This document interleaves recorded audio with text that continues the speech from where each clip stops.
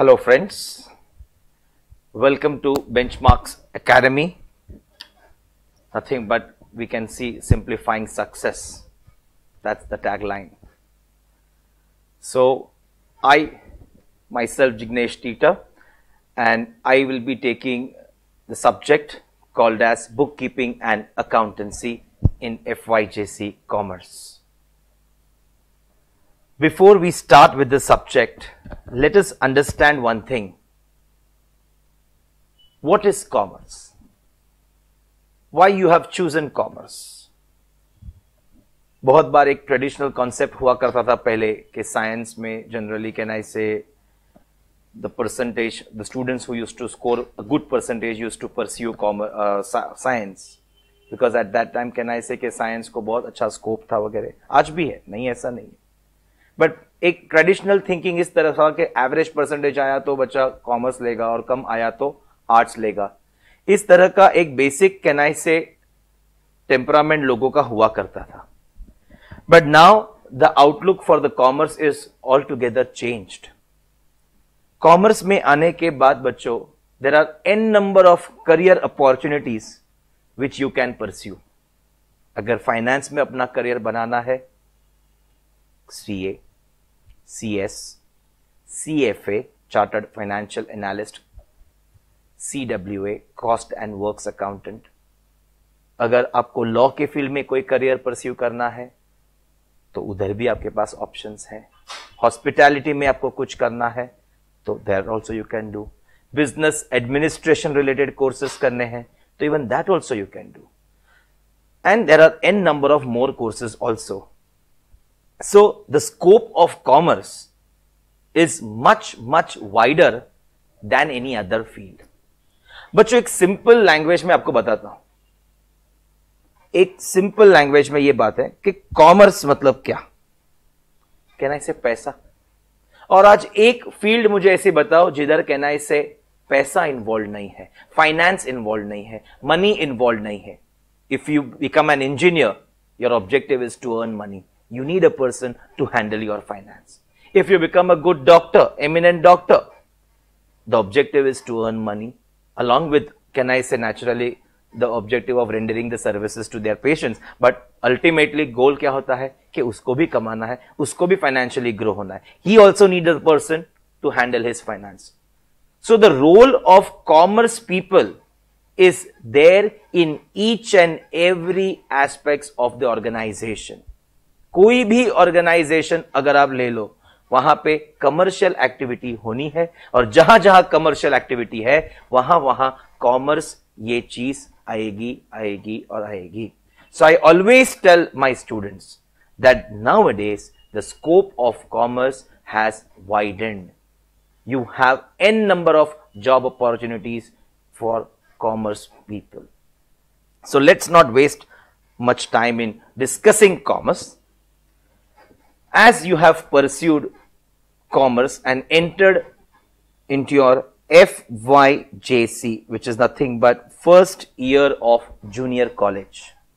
Let me first tell you what all subjects you have in your junior college.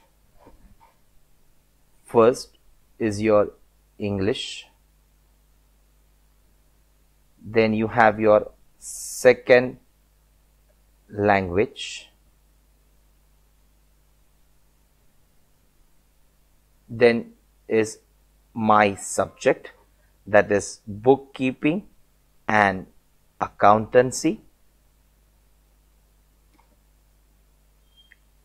Then you have a subject called as organization of commerce and management.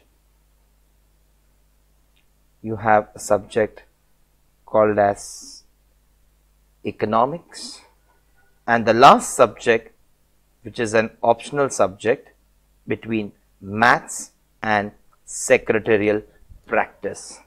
So these are the subjects which you have in your FYJC and one thing I would like to tell you okay, among all these subjects this subject that is bookkeeping and accountancy plays a crucial role in commerce because this is the subject which you are going to face in all the five years of commerce, whatever you do. The objective of learning this subject should be quite conceptual. No marks oriented approach, no ratta approach should be followed. Remember this very well. This attitude we have to keep from day one. Okay. So now let's start with this subject. Can I say maths? ये subject आपने school life में सुना हुआ है। Economics, ये subject अपने school life में सुना हुआ है। इंग्लिश, ये सब्जेक्ट अपने स्कूल लाइफ में सुना हुआ है। But as far as this subject is concern that is bookkeeping and accountancy क्या ये सब्जेक्ट बच्चों आपने कभी सुना है? नहीं।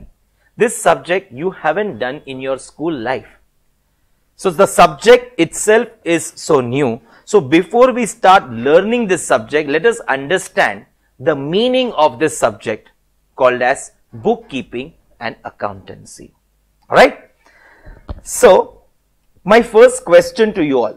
मैं एक सिंपल सा सवाल आप सब बच्चों को पूछता हूं have you ever done business in your life क्या आपने कभी बिजनेस लाइफ में किया है तो आप बोलोगे नहीं। नेचुरली आप तो बच्चे हैं, मन के सच्चे हैं, भगवान के स्वरूप है। आप कहाँ से बिज़नेस करोगे?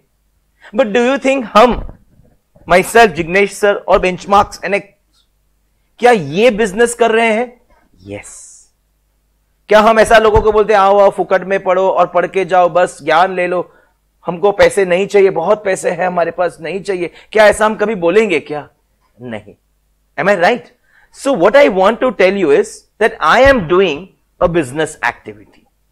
आज कैन आई से हमारे क्लासेस में एन नंबर ऑफ स्टूडेंट्स आते हैं पढ़ने को रोज कोई ना कोई फीस देके जाता है भगवान की कृपा से यस और no no do you think that my little brain will be able to remember everything आज किसने पैसा दिया कल किसने पैसा दिया परसों किसने पैसा दिया क्या all this things will I be able to remember no so what I will do I will maintain a record Of all the money coming in my business.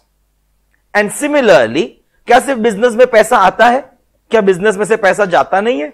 Obviously जाता भी है।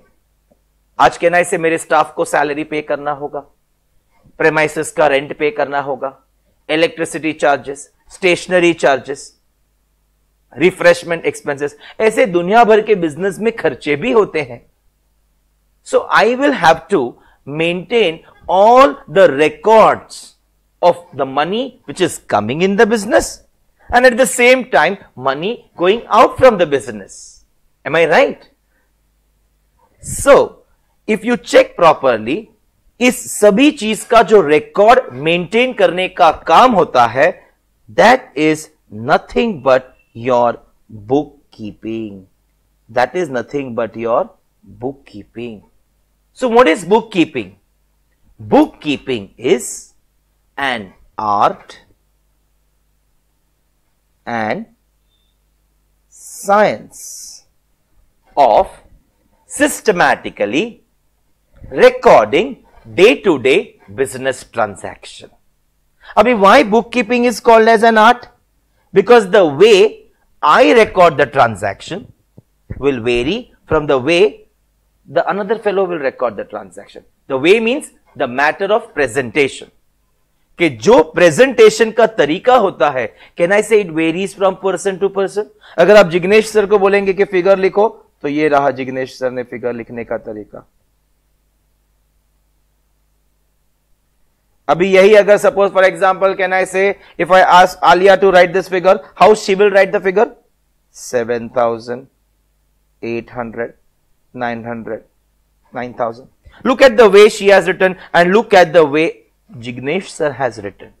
There is a difference in presentation. Am I right? It is, that's why known as an art. And why it is known as science? Because sir, bookkeeping is based on such a principle which is universally followed. आज तो India में बैठ के bookkeeping करो या आप US में बैठ के बुक कीपिंग करो या आप रशिया में बैठ के बुक कीपिंग करो, या आप चाइना में बैठ के बुक कीपिंग करो, कहीं पे भी करो the rule remains same and that is why it is known as science because आपको मालूम होगा law of science are universally applicable अगर हम देखें law of gravitational force anything you throw up comes down अभी ऐसा होता है कि कहीं और गए तो कुछ ऊपर फेंका, ऊपर ही जाता है? नहीं. तो सेम वे बुक कीपिंग में भी, कहाँ पे भी बैठ के आप बुक कीपिंग करिए the rule remain same the principle remains same and hence it is known as science so what is book keeping बच्चों? Book keeping is an art and science of systematically recording day to day business transaction मेरे रोज़मर्रा के जो business के transaction है उसे मैं record करते रहूँगा in a most systematic manner and that is nothing but known as book keeping what is that known as बच्चों? बुक कीपिंग अभी इससे क्या फ़ायदा होगा? Why shall I do book keeping with this book keeping I come to know how much expenses I have incurred, how much income I have earned, how much amount is receivable from someone, how much amount is payable to someone. All this information we get to know when we do bookkeeping. Have you understood? में आया so book keeping मतलब sir जो कुछ हम business करते हैं उस business के सारे ट्रांजैक्शंस का रिकॉर्ड मेंटेन करना ये बुक कीपिंग कहलाता है And why it is known as art? Because the way we present will vary from the way the other fellow presents his books of accounts. And why it is known as science? Because it is based on that principle. It is based on that rule which is universally followed. That is why it is known as science. So, definition simple language में अगर आपको simple language में इसको term को explain करना है तो book keeping is an art and science of systematically recording day-to-day business transaction that is called as bookkeeping. It enables us to know how much expense we have incurred, how much income we have earned, how much amount is receivable from someone, how much amount is payable to someone, etc. That is called as bookkeeping. What is that called as? Bookkeeping. So, abhi I say सारे हमारे business के transactions record कर लिए? अभी ये record करने के बाद में इस रिकॉर्ड को एनालाइज किया जाता है। क्या किया जाता है बच्चों? एनालाइज किया जाता है स्टडी किया जाता है। And after making the analysis I will draw some conclusions के प्रॉफिट कितना हुआ या लॉस कितना हो गया बिज़नेस में। या मेरे बिज़नेस का फाइनेंशियल पोजीशन क्या है? ये वर्ड का रियल मतलब आपको बाद में समझेगा। But understand at this level कि मेरे बिज़नेस का फाइनेंशियल पोजिशन क्या है? All this information I will come to know once I analyse the record maintain under book keeping and that is nothing but known as accountancy what is that known as बच्चों accountancy so what is accountancy it refers to the an interpretation of records maintained under bookkeeping. That is called as accountancy. So can I say bookkeeping khatam hua ki accountancy shuru hoga? So once bookkeeping ends, accountancy starts. Can I say bookkeeping is a part of accountancy? Accountancy includes bookkeeping. Bookkeeping is a narrow term. Accountancy is a wider term. Have you understood, bacho? So this is the subject called as bookkeeping and accountancy आपको ये subject का मतलब समझ में आया बच्चों? Have you understood अभी अगर आप ऑब्ज़र्व करेंगे तो ये जो बुक कीपिंग का कंसेप्ट है ये कंसेप्ट क्या आज का कंसेप्ट नहीं है बच्चों? ये कंसेप्ट बहुत पुराने जमाने से होता आ रहा है। It is not something which we are observing now the traces of bookkeeping bacho were found during the regime of Chandragupta Maurya. During his regime, there was a minister called as Kautilya. And in he wrote one book called as Arthashastra. And in that book also can I say the traces of bookkeeping were found. And they were later on known as Deshi Nama. क्या बोलते थे बच्चों उसको? देशी नामा and फिर जैसे जैसे केनाई से सिविलाइजेशन होते गया अकाउंटिंग का आउटलुक बदलते गया एंड अकॉर्डिंगली हम एक नए सिस्टम में आ गए called as double entry book keeping system and this system was introduced in the year 1494 by Luca de Bargo Pacioli, an Italian merchant. He introduced the concept of double entry bookkeeping system, which we will be studying in the due course. Have you understood, bacho, what I explained you? Something about bookkeeping, accountancy and its evolution. Ekdam simple, short span time uh, में आपको मैंने बताया है। सो so, अगर बच्चों ध्यान से आप देखोगे तो ये सब्जेक्ट काफ़ी नया है। बिकॉज़ आपने आज जो मेरे पास से पढ़ा वो जस्ट एक सब्जेक्ट का मतलब पढ़ा। You have just understood the meaning of the subject now if the subject is so new definitely in this subject we will be using several terms which you will be hearing for the first time so before we actually start with the bookkeeping part, we must be familiar with all some new terms which will be introduced to you in this subject. Okay. So, that is nothing but a part of basic concepts. So, अभी जो हम बच्चों पढ़ने वाले हैं वो होगा basic concept काफी टर्म्स आपको मालूम भी होंगे और काफ़ी टर्म्स आपको मालूम नहीं होंगे. Let's get familiar with all this basic concept सबसे पहला part tell me what do you mean by the word transaction ये आपने सुना है. What is transaction transaction is nothing but an exchange between two or more person for money or money's worth. What is transaction?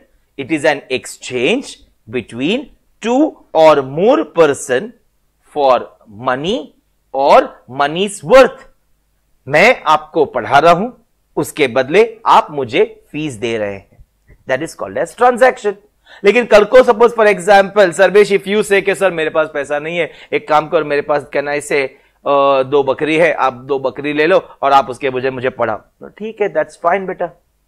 तो मैंने तुम्हारी बकरी ले ली, उसके बदले मैंने तुम्हें कहना ऐसे नॉलेज दे दिया। Is in that a transaction it is a transaction क्या बोला मैंने sentence it is an exchange between two or more person for money or money is worth something which is worth money have you understood that is called as transaction अगर हम transaction को classify करें तो transaction gets divided into two parts the first one is called as cash transaction and second one is called as credit transaction okay अभी cash transaction मतलब क्या? कैनाई से अभी ये मैंने आई पेंसिल कैनाई से एप्पल स्टोर से लिया? कैनाई से एक हाथ से पेंसिल लिया, एक हाथ से उसको पेमेंट किया? ऑन द स्पॉट पैसा दे दिया। What is that basically called as cash transaction समझा? लेकिन आज मैंने आई पेंसिल लिया और पेमेंट दो महीने के बाद करूँगा। What is that known as credit transaction so cash transaction मतलब क्या? It is a transaction in which cash is paid or received immediately for value received or given. That is called as cash transaction. Cash is paid or received immediately for value received or given. That is called as cash transaction अभी on the spot settle करते वक्त आप cash देके settle करो आप check देके settle करो या आप डेबिट कार्ड से पेमेंट करो या आप क्रेडिट कार्ड से पेमेंट करो या आप ट्रांसफ़र करो on the spot hisab clear kiya. It is called as cash transaction. What is credit transaction? It is nothing but an exchange between uh, sorry it is a transaction in which cash is paid or received at a future date for value received or given. That is called as credit transaction. What is that called as? Credit transaction. Have you understood so cash transaction में बच्चों क्या होगा? Payment is on the spot there is immediate payment there is immediate payment whereas credit transaction में क्या होगा? The payment will be made in future or received in future that is called as credit transaction credit transaction को अगर मैं simple language में बोलने जाऊँ, हिंदी में तो उसे हम क्या कहेंगे? उधारी. क्या कहेंगे बच्चों? उधारी. So have you understood what is transaction? Sir, it is an exchange between two or more person for money or money's worth. Transaction gets divided into two parts, cash transaction, credit transaction. What is cash transaction? It is a transaction in which cash is paid or received immediately for value received or given. That is called as cash transaction. And what is credit transaction? It is a transaction in which cash is paid or received at a future date for value received or given. That is called as credit transaction. Have you understood? समझ में आया बच्चों अच्छा अभी थोड़ी देर पहले मैंने आपको सिखाया था बुक कीपिंग और क्या सिखाया था जिग्नेश सर ने कि book keeping is an art and science of systematically recording day-to-day -day business transaction. Now, why it was known as science? Because just now I told you, it, it is based on some principle and that principle is universally followed. That is why bookkeeping is known as science. So, let us understand what is that principle. That principle is nothing but double entry principle. क्या ये principle का नाम है? बोलो बच्चों। Double entry principle. And इस principal के मुताबिक each and every transaction each and every transaction has two effects known as, ये वर्ड आपने कॉमर्स में आने के पहले 110 परसेंट सुना रहेगा नोन एज वॉट बच्चो? डेबिट एंड क्रेडिट ये है double entry principle which is the most scientific method of book keeping so what is this principle saying Each and every transaction has two effects, known as debit and credit. Known as debit and credit. ये word 100 percent commerce में आने के पहले किसी ना किसी जगह में कॉमर्स में क्या हो डेबिट क्रेडिट होता है। ये मालूम ही होगा आपको। एम राइट सो ये वो प्रिंसिपल है कि हर एक ट्रांजैक्शन के कितने इफ़ेक्ट होंगे बच्चों?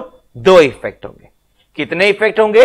दो इफ़ेक्ट होंगे। Known as what debit and credit known as what? Debit and credit. So, double entry principle samajh mein aaya? It is the most scientific method of bookkeeping and under double entry principle, each and every transaction has two effects known as debit and credit, known as debit and credit. So, अभी तक अगर आप बराबर से देखोगे तो मैंने आपको क्या क्या कंसेप्ट समझाए।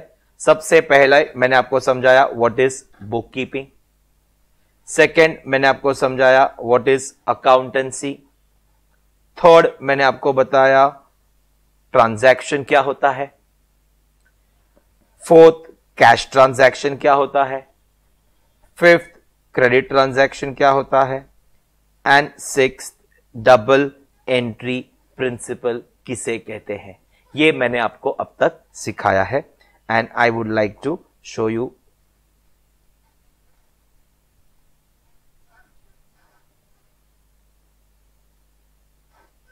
this particular slide just एक बार गो थ्रू कर लो.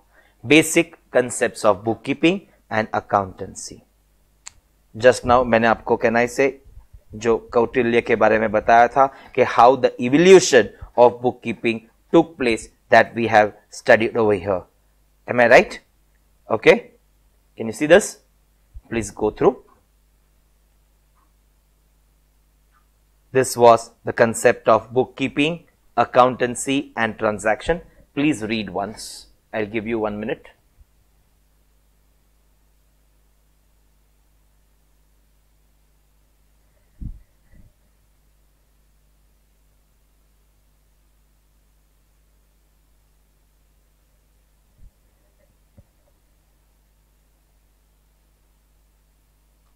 Then is your transaction, two types of transaction, cash transaction and credit transaction. आपको मालूम है cash transaction immediate payment credit transaction payment in the future date उसके बाद में मैंने आपको ये कंसेप्ट पढ़ाया called as double entry principle is the most scientific method of book keeping and आज पर this principle each and every transaction has two effects इतना हमने पढ़ा. Am I right clear now we proceed further okay एक छोटा सा part करेंगे and then we will conclude are today's session बच्चों have you heard the word account क्या एक वर्ड कभी सुना है? Account A C C O U N T अभी कहना से ये बच्चों को मैं अगर पूछूँगा तो बोलेंगे, सर हाँ पापा मेरे को बैंक में, अकाउंट में कहना से चेक डिपॉजिट करने को भेजते थे। क्योंकि हमको भी, हमारे पापा जब छोटे थे तो बैंक में डिपॉजिट करने को ही भेजते थे। कभी विड्रॉल के अलावा किया ही नहीं था। सिर्फ़ डिपॉजिट करने को जाओ। तो इसके लिए एक ही चीज़ आप लोगों को मालूम है, वो है nothing but bank account am I right saving account होता है करंट अकाउंट होता है फिक्स डिपॉजिट होता है रेकरिंग डिपॉजिट होता है। These are the only account which you all have in your mind but बच्चों, अभी कॉमर्स में ऐसा नहीं है। बुक कीपिंग की जब मैं बात करता हूँ तो अकाउंट का मतलब is not just restricted to your bank account any person or things affected by the transaction is known as account any person or things affected by the transaction is known as account. Cash received from Ram. Cash is coming in. Cash account. Ram account. Salary paid. Salary is my expense. Salary account. Cash account. Rent received. Cash is coming in. Cash account. Rent received account. So any person or any things which is affected by the transaction is known as account. Shortcut में, हमारे accounts के भाषा में account इस तरह से लिखा जाता है. ए स्लैश सी अगर बच्चों में अकाउंट्स को क्लासिफाई करूँ तो account is broadly classified in two parts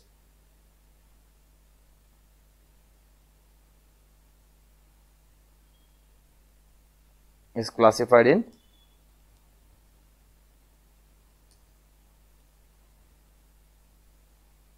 Two parts.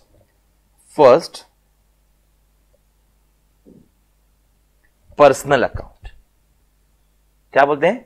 Personal account and second is impersonal account अभी बच्चों में पर्सनल अकाउंट की बात करूँ। सिंपल लैंग्वेज में बात कर रहा हूँ आपसे। पर्सन, पर्सनल अकाउंट मतलब it includes all individuals Jignesh sir, personal account. Can I say Ankush sir, personal account. Siya, personal account. Tanushree, personal account. Mahendra, personal account. Bharat, personal account. Namrata, personal account. So these are all individuals They are coming under the category of personal account. But apart from all these individuals, there are other artificial person which are created by law and they also come under the category of personal account like your school, NM college, Mitibai college, Gokhlibai college, means all your colleges, hospital, banks, company, governments, they all also come under the category of personal account. Am I right? Samjha? So personal account includes all individuals and all the artificial person created by law. They also come under the category of personal account. What they come under the category of? Personal account. As far as impersonal account is concerned, bacho, impersonal account is concerned, it is further subdivided into two parts. Subdivided into two parts. Real. Which account? Real account. And second is your nominal. Now, what do you mean by real account? It includes all items, all things which are movable or immovable. They come under the category of real account. अभी अगर मैं real account की बात करूँ तो आप बराबर देखो अभी सपोज़ फॉर एग्जांपल हमारा ये क्लास जो है बेंचमार्क्स तो ये प्रेमाइसिस हमारा है रियल अकाउंट फर्नीचर हमारा है रियल अकाउंट एसीज हमारे हैं रियल अकाउंट कैन आई से ये इक्विपमेंट्स हमारे हैं? रियल अकाउंट कैश मेरा है real account are you getting my point car machinery vehicle these are all called as your real account वस्तु things which are nothing but movable or immovable they come under the category of real account which account बच्चों real account and when I talk about nominal account nominal account includes Nominal account includes all expenses, all income, all losses, all gains. अभी fees आप हमें पे करोगे fees आपका क्या हुआ expense हमारा क्या हुआ income nominal account salary paid expense, salary received, income, nominal account. Rent paid, expense, rent received, income, nominal account. Commission paid, expense, commission received, income, nominal account. So all these expenses and all this income, they come under the category of nominal account. They come under category of which account? Nominal account. Have you understood? So all expenses, all incomes, all losses, all gains, they all come under the category of nominal account. Okay? अभी suppose for example twenty five thousand का air condition है वो मैंने twenty thousand में बेचा तो पाँच हज़ार का क्या हुआ? लॉस हुआ? नॉमिनल अकाउंट मैंने कहना से एक शेयर्स खरीदे थे एक लाख रुपए में टोटल शेयर्स खरीदे थे उसको कहना से वन एंड हाफ़ लैक्स में बेच दिया। पचास हज़ार रुपया कमाया। nominal account, profit on sale of investment. Yes or no? So all expenses, all losses, all incomes, all gains, they all come under the category of nominal account. So agar मैं कल को पूछूं कि in all there are how many types of account? You will say three. Real account, personal account and nominal account. What you will say? Real account, personal account, nominal account. What do you mean by real account? Sir, it is item, it is things which are movable or immovable. They come under the category of real account. What do you mean by personal account? It includes all person, that is individuals or any other artificial person created by law. They come under the category of personal account. And what is nominal account? It includes all expenses, losses, incomes and gains. They come under the category of nominal account. Have you understood so classification of accounts की बात करेंगे तो it gets divided in two part personal impersonal impersonal further gets divided in two part real and nominal have you understood okay so this was something basic terms which I have introduce to you till date okay just a recap of what we have done just a recap of what we have done okay सबसे पहले can I से I have introduced you the concept of bookkeeping and accountancy. What is bookkeeping? It is nothing but art and science of systematically recording day-to-day business transaction. What benefit you get from the bookkeeping? We come to know how much expense we have incurred, how much income we have earned, how much amount is receivable from someone, how much amount is payable to someone. All this information we get to know through bookkeeping. Bookkeeping होने के बाद में we will analyze the record of the bookkeeping and after making the due analysis we will draw some conclusions and that is nothing but called as accountancy. So what is accountancy? It refers to analysis and interpretation of records maintained under bookkeeping.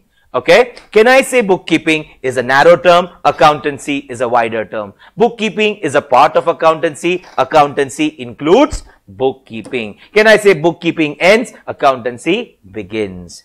The next is transaction. What is transaction? It is an exchange between two or more person for money or money's worth. Transaction further subdivided into two parts. Cash transaction, credit transaction. Cash transaction, rokda, rokda. And credit transaction, udari. What is that called as, bacho? Udari. So cash transaction is nothing but a transaction in which cash is paid or received immediately for value received or given. That's called as cash transaction. And what is credit transaction? It is a transaction in which cash is paid or received at a future date for value received or given. Then thereafter, we go to the next thing that is double entry principle. Double entry principle kya tha? The most systematic method of bookkeeping, most scientific method of bookkeeping and as per double entry principle, each and every transaction has two effects known as debit and credit. Known as what bacho? Debit and credit. Next I taught you what is account. A person or things affected by the transaction is known as account. Is known as what? Account shortcut कैसे लिखते हैं बच्चों A slash C there is your classification of account account gets classified into two part personal impersonal what is personal it includes all person all individuals all artificial person created by law that comes under the category of personal account which account bacho personal account i you are personal account but apart from i and you all school colleges banks companies they all come, government, they all come under the category of personal account. And impersonal account, bacho, further gets divided into two parts, real and nominal. Real account means what? All items, all things, all vastu, which are nothing but movable or immovable. Think from business point of view. Cash is a real account. Furniture, real account. Equipment, real account. Motor car, real account. That is all real account and nominal account includes all expenses, all losses, all incomes, all gains, salary paid, expense, salary received, income, rent paid, expense, rent received, income, fees paid, expense, fees received, income. They all come under the category of nominal account. Loss on sale of assets, nominal account. Profit on sale of investments, nominal account. Have you understood? Yes, so this is what we have done till now आगे के जो concept है वो हमारे next lecture में हम discuss करेंगे. Bye good day thank you bye bye